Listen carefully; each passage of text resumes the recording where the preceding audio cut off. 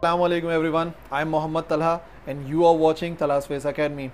Today I'm going to explain a very important topic in the electronics and that is the characteristics of common base configuration. But before that, uh, I have already done a video on uh, common base configuration. So if you want to look at that, then uh, the link is in the description. So without wasting any time, let's start our video. So uh, as the name suggests that this is the common base configuration, it means the base is common between the input and the output. And uh, let's see this uh, configuration. In this configuration the input is applied between the emitter and base and output is taken from the collector and the base junction. So uh, what uh, I have said that uh, base is common to both input and output as shown in this figure. So uh, you can see in both the figures of NPN type and PNP type. Here you can see the base is common between input and output. And if you see in the PNP type transistor then you can see that base is common between input and output. So uh, let's see the circuit. In a common base configuration the input current is the emitter current. Always remember this. And the output current is the collector current. Okay. Input current is the emitter current and the output current is the collector current. Uh, and the ratio of change in collector current to the change in emitter current at constant collector base voltage is called current amplification factor.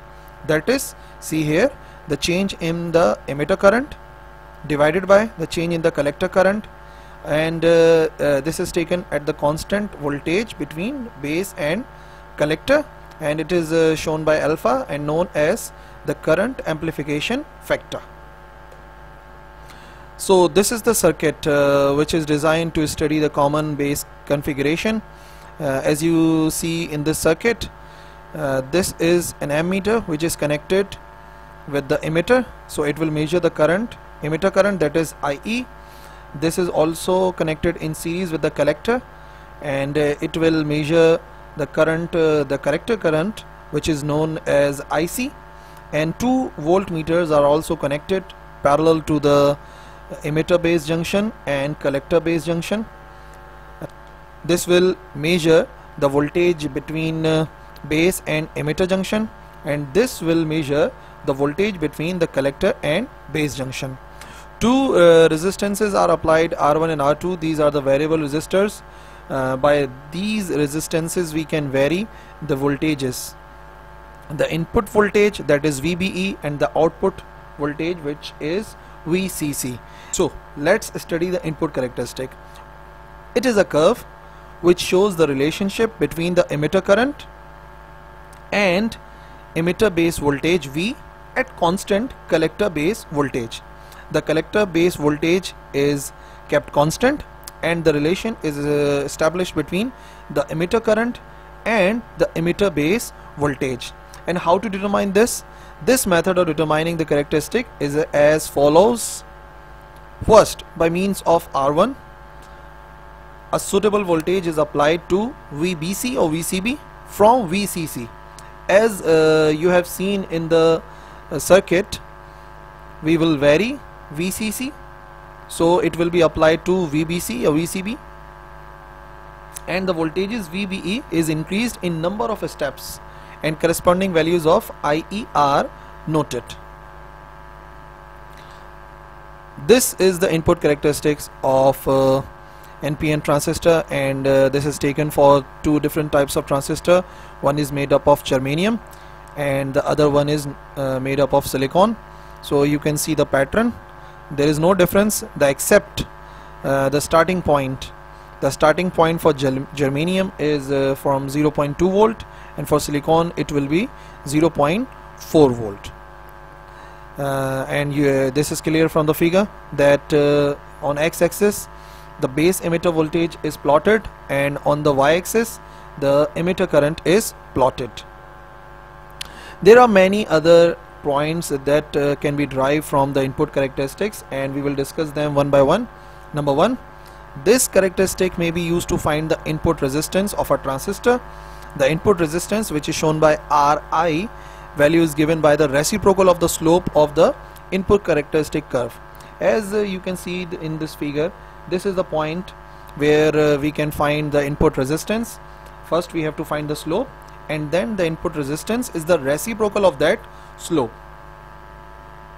Point number two the emitter current that is IE increases rapidly with a small increase emitter base voltage. As you can see this there is not enough uh, increment in the base emitter voltage but the current increases very rapidly for germanium and for as well as the silicon. It means that the input resistance is very high let's see point number three. The emitter current is dependent of collector voltage. Uh, this is very clear from this uh, graph that the emitter current that is IE dependent on the collector voltage and it will vary. Now come towards the output characteristic. What are output characteristics? It is a curve which shows the relationship between the collector current that is IC and the collector base voltage VCB at constant emitter current that is shown by IE so uh, we will uh, keep the input constant and vary the output and study the output characteristics. And how to do this? First by means of R2 which was connected to the output a suitable voltage is applied to the base and the emitter. Next VCB is increased from 0 in a number of steps and corresponding values of IC are noted the above whole procedure is repeated for different values of emitter current for obtaining the family of curves. This is the output characteristics as you can see. Uh, the emitter current firstly is kept 0 then 2 milliampere then 4 milliampere then 6 milliampere and then 8 milliampere. And the graph is plotted between the voltage between collector base junction and on the y-axis uh, collector current is plotted. Okay and these are the regions uh, which I will explain later. The point number one which uh, can be derived from these graphs from the output characteristics are point number one the collector current IC varies with the VCB only at very low voltages. As uh, it is clear here that it will vary the collector current varies with respect to VCB but at very low voltage. And when the voltage is high it will not vary. Point number two this characteristic may be used to find the output resistance. Uh, for input resistance we were measuring RI and now we can measure RO. How we can find? Change in the collector base voltage divided by the change in collector current. Okay? The change in this voltage divided by the change in this voltage from two curves or two points at constant IB we can find the output resistance. Point number three a very large change in the collector base voltage produces a small change in collector current. It means that the output resistance is very high. As you can see there is a little bit increment in the collector current while the voltage varies from 0 to 12 something but there is not enough increment in the collector current point number 4 the collector current is constant above a certain values of collector base voltage above a certain value this value. It means that IC is independent of VCB and depends upon IE only. From this point you can see that uh, the collector current is constant from above the value like uh, above uh, 12 volt or something let's uh, see the uh, different definitions of the regions we which you can find in the output characteristics.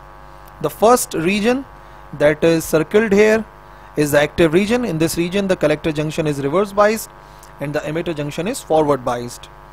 In this region when emitter current is 0 and the collector current is equal to ICO this reverse saturation current remains constant.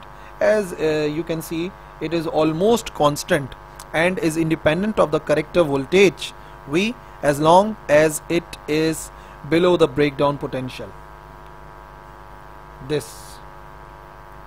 The second region that is the saturation region here. The region to the left of the ordinate VCB is equal to 0 this is called the saturation region. In this region both junctions are forward biased. This is also called as the bottom region because the voltage has fallen near the bottom of the characteristic where VCB is equal to 0 in this region IC increases rapidly with even a small increase VCB and the last that is the cutoff region here the region below when the emitter current is equal to 0 below this is the 0 emitter current and the region below this point this this point is known as cutoff region for which the emitter and collector junctions are both reverse biased is called cutoff region. This portion of characteristic is not coincident with the voltage axis which is very clear from this figure. So that's it. Uh, this is the common base configuration uh, which you will study in electronics. If uh, you have uh, further queries then uh, you can uh, use the comment section or you can just email me. I will try to reply all them. Okay, that's all. Allah Hafiz.